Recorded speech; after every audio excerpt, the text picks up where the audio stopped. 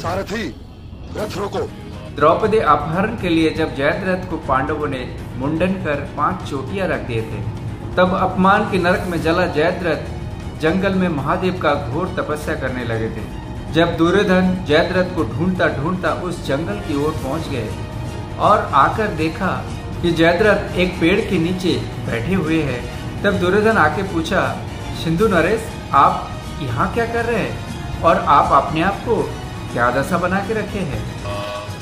वहाँ दुष्शला आपके लिए चिंतित है और मुझे आपकी खोज के लिए निकलना पड़ा।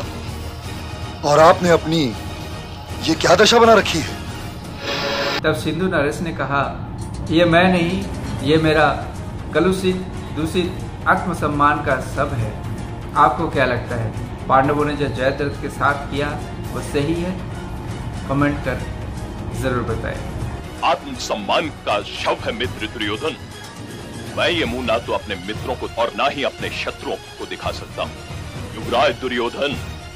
जयद्रथ दुर्योधन से कहा कि मेरे सिर पर ये पाँच चोटियाँ जो देख रहे हो ना, ये पाँच चोटियाँ नहीं, पाँच सर्प है, जो हर दिन दिन रात मेरे सर पर मंडराते रहते हैं और मुझे डसते रहते हैं। आपकी इस दशा किसने किया? और वो भी हस्तिनापुर राज्य की सीमाओं के अंदर? तब जयद्रथ ने कहा कि मेरी ये दशा वो पंचशूल ने किया है, पांडव, जो आपके हृदय में भी धसा हुआ है।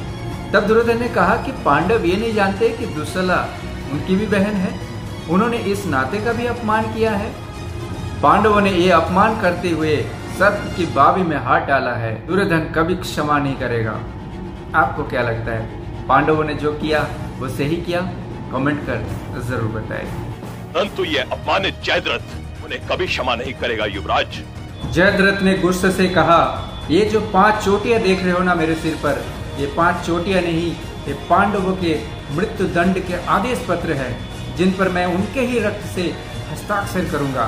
मैं तुम्हें वचन देता हूँ युवराज जब तक मैं प्रतिशोध ना ले लूँ तब तक मैं अपने अपमान के घाव को भरने नहीं दूँगा। दुष्शला अनाथ नहीं है सिंधु नरेश। इस अपराध के लिए कई कई बार भरना पड़ेगा। उसके पति का अपमान करने वालों को आप हस्तिनापुर चलिए। नहीं युवराज, ना तो मैं सिंधु देश जा सकता हूँ, ना ही हस्तिनापुर। अब तो मैं तपस्या करूँगा और महादेव से वरदान प्राप्त करूँगा उन पर विजय पाने के लिए। आपको क्या लगता है? महादेव उनको वरदान दे देंगे? कमेंट कर ज़रूर बताएँ।